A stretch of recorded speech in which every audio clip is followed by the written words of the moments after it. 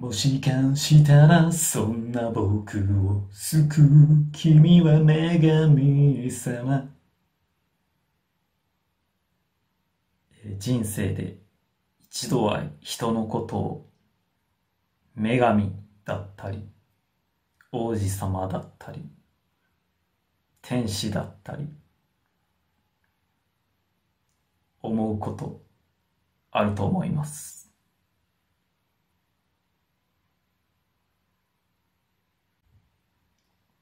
はいどうも純子です、えー、今回は久しぶりに DIY ということで、えー、コストコで一番大きな物置を買ってきたので、えー、それを一人で組み立ててみたいと思います。えー、まずね、えー、多分動画長くなると思うんで、3つに分けて、えー、皆さんにお見せしたいと思います。その3つはどうするかっていうと、まあ、その、家の建てる前の様子、それから、そのコストコの荷物を開封したところ、で、まあ、部品関係ですね。それを開封して、まあ、えー、っとね、準備。まあ、同工具結構いると思うんですけど、ドライバーだったり、ハサミだったり、その準備編。まず一つ目が準備編。で、次に、実際組み立て編。ね、これは、えっ、ー、とね、おそらく一日中かかるって予想してるんで、まあそんなに長く流してられないので、早送りでお伝えしようと思ってます。で三つ目が、完成後の様子ですね。まあ扉開けて中がどんなんだったりとか見せたいと思います。で、さらにそれにまあ、もともと、えっ、ー、と、この物置は、バイ、バイク持ってるんですけど、バイクを入れるための、がメインで、バイクを入れたいなと思って物置を買ったんで、それをどういうふうにレイアウレイアウトして入れてるのかとか、まあ、その他の、まあ、外に出しっぱなしのものがいっぱいあるんで、まあ、それをどういうふうな感じで、まあ、物置に入れたのかとか、それを3つ目の動画でお見せしたいと思います。じゃあまずは1本目ということで、準備編ですね。荷物の開封から、えー、同工具の準備、その辺をお見せしたいと思います。それではどうぞ。はい。おはようございます。えー、ただいま、6時半ぐらいです。今回は、コストコの物置を組み立てるということで、え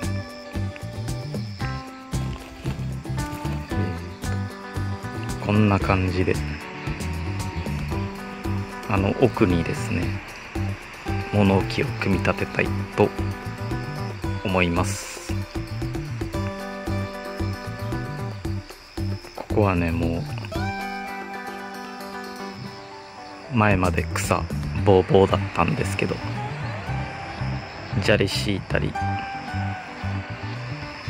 でここですね。ここバイクの通り道にしてあるんですけど。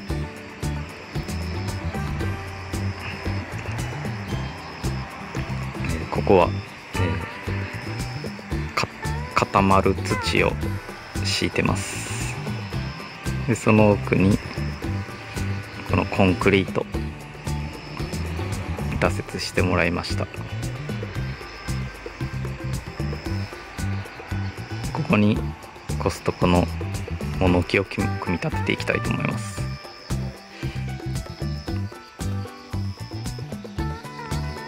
まあちょっと放置してたんでまた草結構生えてますけど、ま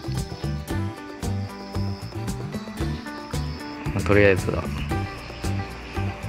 早くバイクの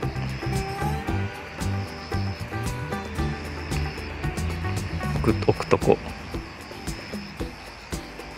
作りたいと思うんで、えーこれからやっていきたいと思います。でまずはその準備としてあその準備からしていきたいと思います。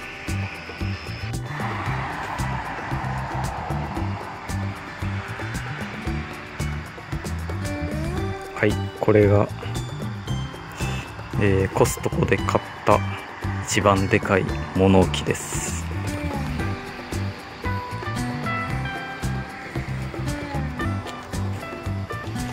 完成図はこれですね。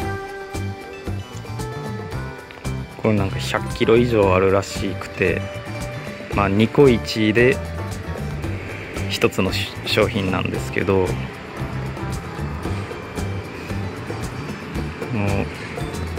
これさすがに運べないんであの宅配してもらったんですけど大の大人2人でも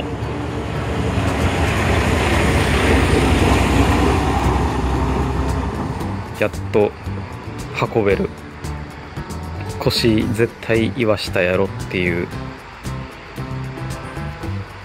言わすんちゃうか、えー腰絶対痛めるっていうような重さでした。見てて。だからもうここに置いてもらったんですけど、まあ今からこれを開封していきたいと思います。段ボール開けたらこんな感じで入ってます。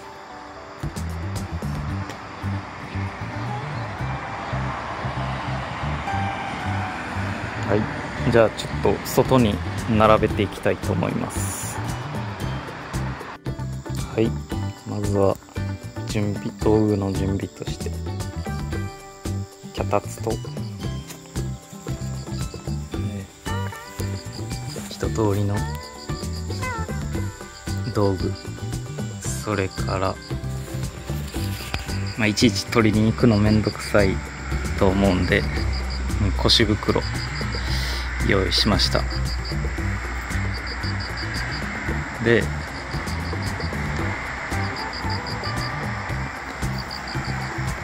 こうやって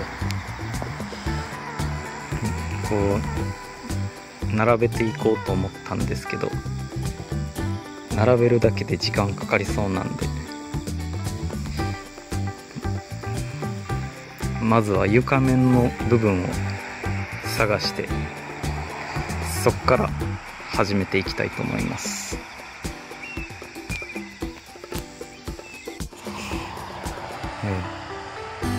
これがおそらく壁になる部分ですね。これが出てきました。やっと出てきました。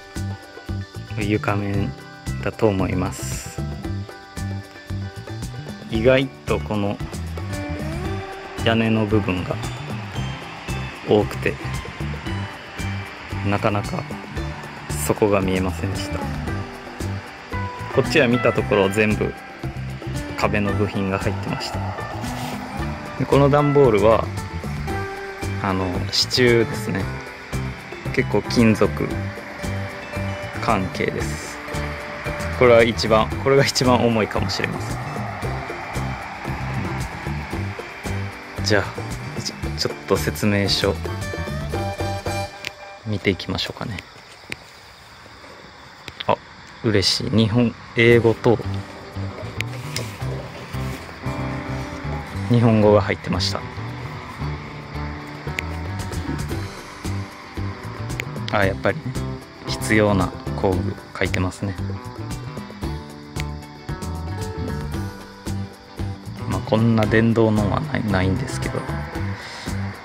まああるやつでややっていきたいと思います。